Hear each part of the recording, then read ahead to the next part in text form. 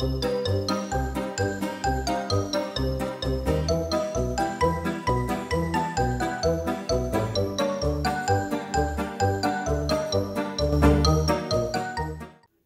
guys, how's everybody doing today? Hopefully you're doing great. I'm here with this new book and this one's called Biscuit and the Bunny by Alyssa Satin Capucilli. Woof woof! Here Biscuit, what have you found? Woof woof! Look Biscuit, it's a bunny! Silly puppy, don't be shy. Woof woof. Good puppy. That's the way.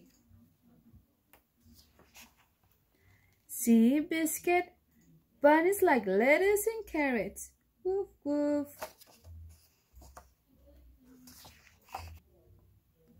The bunny likes your doll. Woof woof. We can name the bunny Dolly. Oh, that's a pretty name. Dolly likes your blanket too. Woof woof. Sweet puppy, you always know how to share. Hop hop. Woof woof. Oh, Biscuit, it's always fun to make a new friend. Woof. Hope you guys like it. Don't forget to subscribe, like, and share for more. Thank you and goodbye.